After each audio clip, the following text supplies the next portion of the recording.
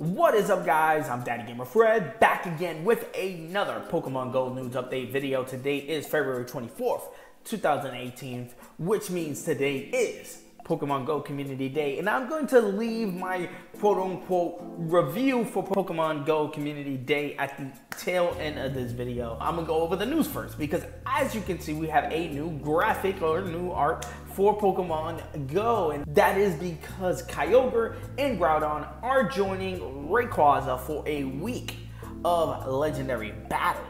So this is coming from the official Pokemon Go website. I'm have a link in the description to this blog post from Niantic. And it says Kyogre and Groudon join Rayquaza for a legendary week of raid battles, which is dope. So anyone who hasn't gotten a chance to catch Kyogre or catch Groudon will have an extra week this week to go out and catch them. It says, trainers, now is the time to test your strength. Legendary Pokemon Kyogre and Groudon return to raid battles alongside Rayquaza for a limited time. Now is an excellent chance to finally catch all three ancient legendary Pokemon originally discovered in the Hoenn region.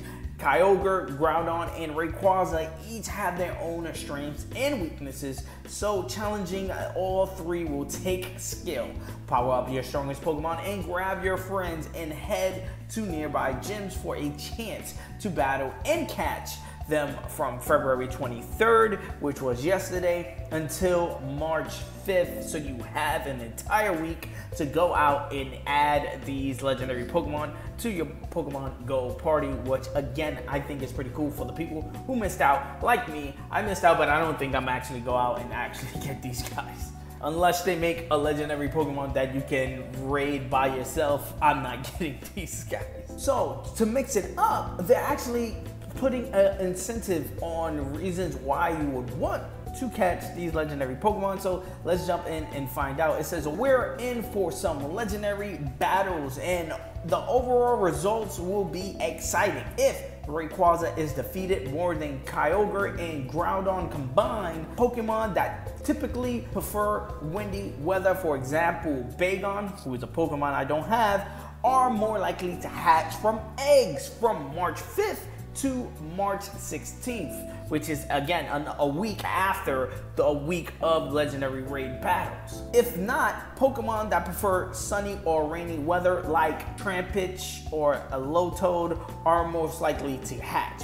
So depending on which legendary raid battles that we encounter and do more, that's gonna be the, the ones that are gonna be hatching from the eggs. Those types of Pokemon are gonna be the ones that are hatching from the eggs. If we battle and catch more Rayquaza, then we're gonna get wind, windy type Pokemon hatching from eggs. If we catch more Groudon, then we're gonna get sunny weather Pokemon hatching from eggs. And if obviously if we catch more Kyogre, we're gonna see more rainy weather Pokemon hatching from eggs. I personally would like to see more windy Pokemon because Bagon does sound nice. That's a Pokemon I don't have, so all I would need is to catch it and be able to walk it for some candies and hopefully get my Salamence. But what what Pokemon would you prefer to be hatching from eggs for a week? I mean, it's just one week, so let me know your thoughts in the comment section below about this. I, again, I'm, I'm on Team Rayquaza. Team Emerald is the, the one I played, even though I did play um, Ruby and Sapphire before I played Emerald. But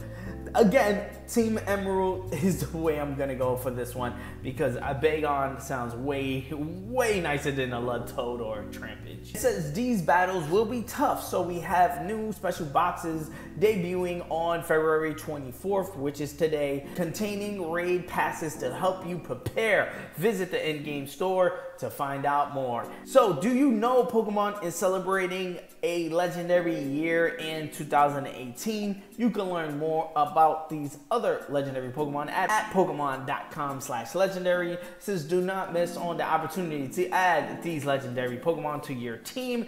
Stay safe and happy exploring.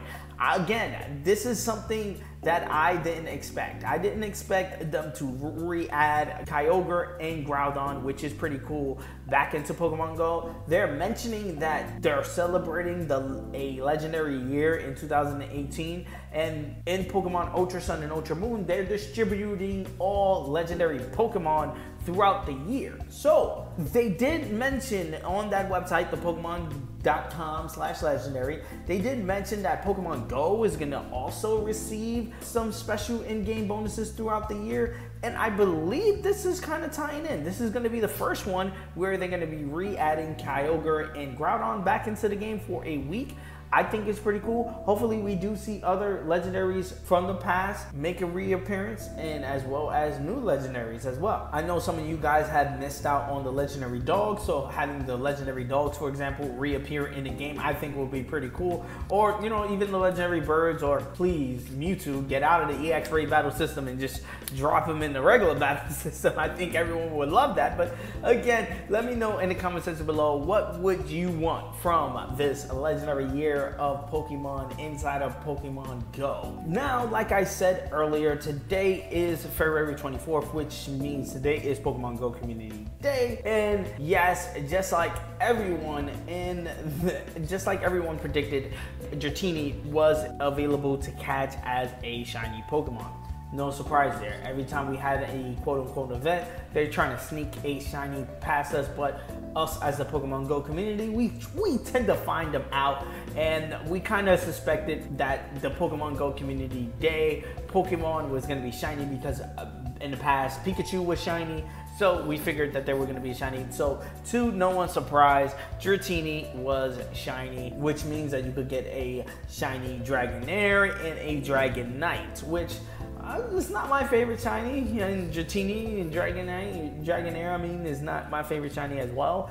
But you know, it's cool to have shiny Pokemon making their way inside of Pokemon Go. Now there's stories of people catching up to 14 shinies I've seen on, you know, on Twitter, and I'm like, oh my god, scratching my head, like, why couldn't I even get one? I couldn't even get one, but it's okay, it's all right. I got my uh, Dratini. To be honest, this was the first time I ever seen Dratini in the game at all. So it was my Pokedex catch, as well as catching Dragonite, as well um, Dragonair and Dragonite for the first time. So it was pretty cool. I got a pretty good CP Dragonite with the move Draco Meteor, which everyone is saying is isn't the strongest move set for Dragonite, but I'm, I'm I'm okay with it. I only have one, and you guys know me. I'm not more of a battler guy. I'm just straight up uh, playing to trying to complete the Pokedex, quote unquote. And I would have really really loved a shiny Dratini in my Pokedex or in, in you know in my bag or whatever. But you know that unfortunately did not happen. But that doesn't mean it can never happen because as you guys know, with all the shiny Pokemon being added to the game, that means you can potentially go out and farm shiny Dratini if you were have if you're next to a Dratini nest or whatever. You know, shiny Dratini could still spawn. It's just gonna have a less and harder chance to spawn. So that's still a thing. So you know, you do see a, a Dratini out there, shiny check it. And overall, today was pretty cool. I did get a couple of other Pokemon added to my Pokedex. Uh, what was this? Um, the the pig. The I forgot the pig's name. The the one that spunks, the, the jumps around, whatever.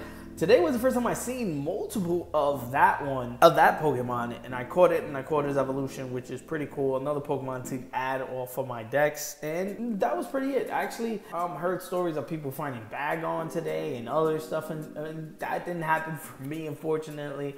But it's pretty cool that Dratini was a I was able to catch Dratini and add it to my Pokedex. But let me know in the comment section below how did Pokemon Go Community Day go for you? I do know that there was a lot of outage of um, the game completely not working and it was down for a couple of hours during Pokemon Go Community Day. So Niantic responded and extended Pokemon Go Community Days for the people who it was down for. I believe in Asia it was down, and so they they, they extended the hours and stuff like that. Which again is pretty cool that Niantic seen that there was something wrong and said, "Yo, we we effed up, we fucked up. Let's let's fix it and let's extend your guys' hours so you guys can enjoy Pokemon Go Community Day just like anyone." But besides that little issue, I think it went off pretty cool. Let me know your Pokemon Go stories in the comment section below. Like always, guys, I'm Daddy Gamer Fred on Instagram and Twitter. You guys bring the conversation there. I'm the American Gamer in Switzerland right here on YouTube, and yes, I'm gonna be doing a ton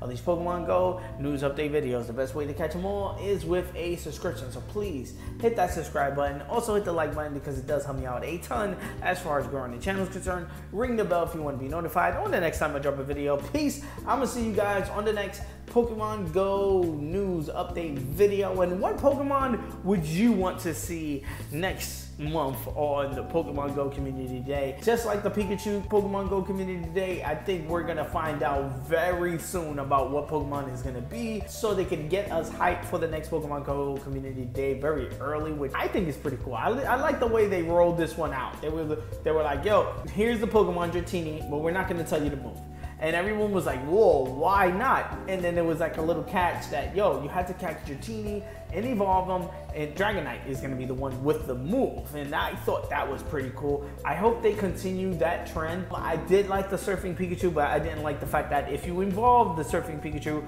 Raichu does not have the Surfing um, ability move which I hope they recon that in the future, especially if we get the Alolan Raichu in Pokemon Go. But again, let me know in the comment section below your thoughts on Pokemon Go Community Day, as well as let me know your thoughts on them adding Kyogre and Groudon back into Pokemon Go. And we're gonna be having them in Pokemon Go for a week, so you can go out and raid them as well. Let me know your thoughts on that. And what other legendary Pokemon would you like to see have a reoccurrence inside of Pokemon Go for the legendary year of 2018 with the Pokemon Company celebrating.